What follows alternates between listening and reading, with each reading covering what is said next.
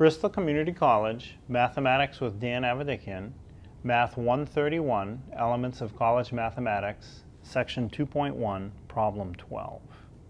This is Problem 12 from Section 2.1. Solve the system of linear equations x plus 3y over 2 equals 5 over 2, and 4x over 3 plus 2y over 3 equals 6.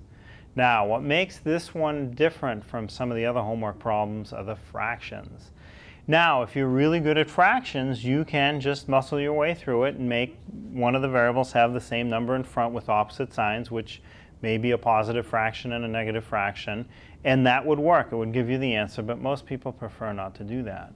So what I'm going to do is, since the first equation seems to have a denominator of 2, before I even get into canceling a variable, I'm going to take the top equation and do everything times 2, and it'll eat those denominators.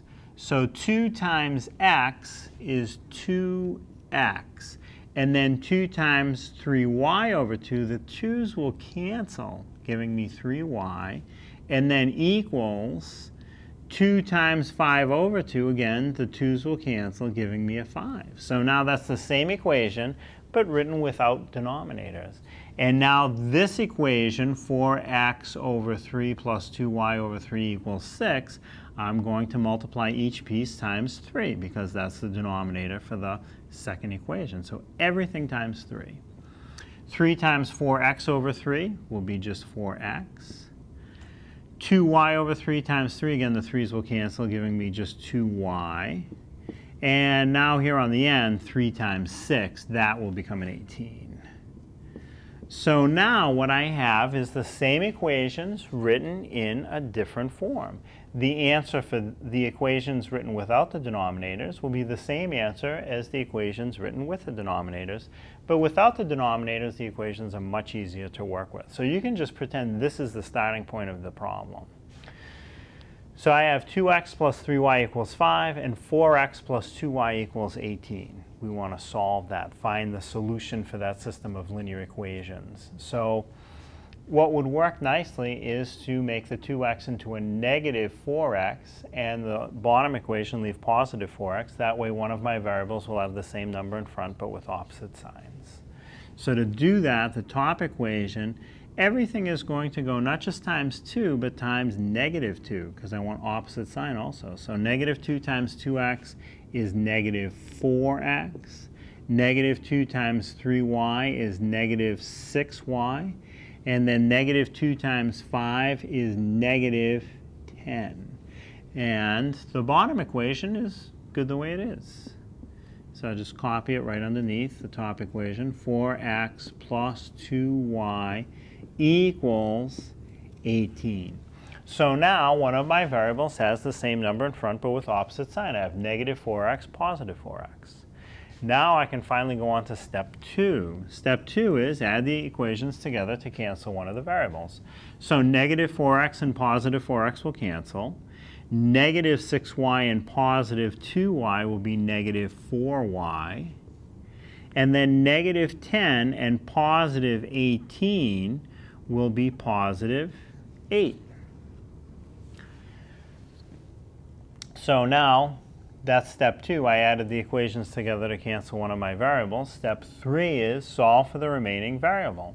So if I have negative 4y equals 8, divide out the negative 4. y equals 8 divided by negative 4 will give me y is negative 2. Don't lose the negative. Now that I have solved for my remaining variable, step 4 is go back to either of the original equations and solve for the remaining variable. Now in this particular problem, going back to the original equations is actually somewhat of a hassle because the original equations had those denominators. So I can really take my answer of y equals negative 2 and go back into one of the middle equations. I can take the one that says 2x plus 3y equals 5 and use that to find my other variable. So let me write that down here. 2x plus 3y equals 5 and put in a value of negative 2 for y. So this will become 2x plus 3y becomes 3 times negative 2 equals 5. So 2x that's going to be minus 6. 3 times negative 2 is minus 6 equals 5.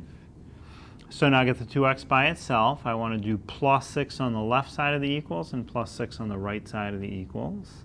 So I'm going to have 2x equals 5 and 6 more is 11. And now divide out the value in front of the x, which is 2. So 11 divided by 2 is 5.5 or 5.5. Again, if you don't see that easily without your calculator, just do the calculator. 11 divided by 2 equals. So I do get a fraction of the answer, but it's not too bad. x equals 5.5 and y equals negative 2 is the solution for this system of linear equations. Those values will make both equations true at the same time. Or if you want to think of it as being a graph, the point where those two equations would intersect would have an x value of positive 5.5 or 5.5 and a y coordinate of negative 2. That's where the two lines would intersect.